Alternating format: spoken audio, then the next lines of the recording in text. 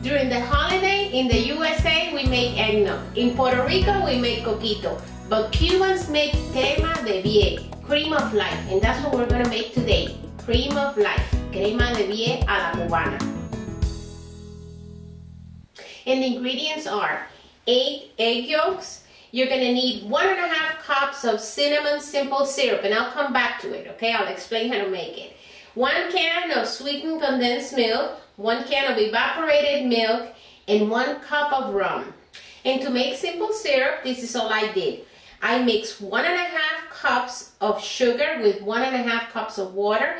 I added the cinnamon stick, um, heated in medium high until all the sugar is dissolved and it becomes this beautiful golden color and that's from the cinnamon.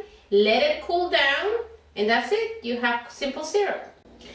The first thing you need to do is to beat the eggs. Now, let me tell you something. Most people, once they have the simple syrup and all the ingredients, all they do is put it in a blender and mix it. But I know that many of you are really afraid of eating raw eggs and we have to be careful with salmonella.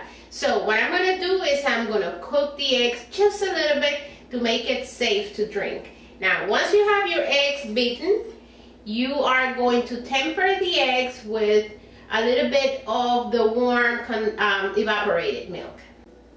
The evaporated milk is warm. I'm going to add it little by little to the eggs. This is to temper the eggs, just little by little, until it's completely combined.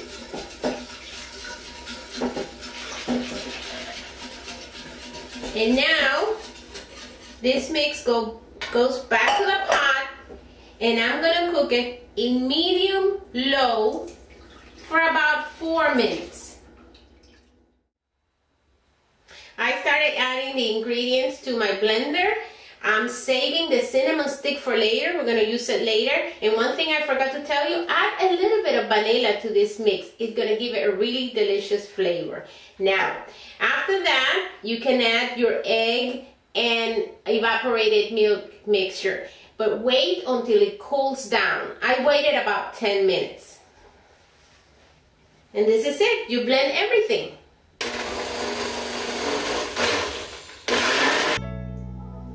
And here's your crema de vie.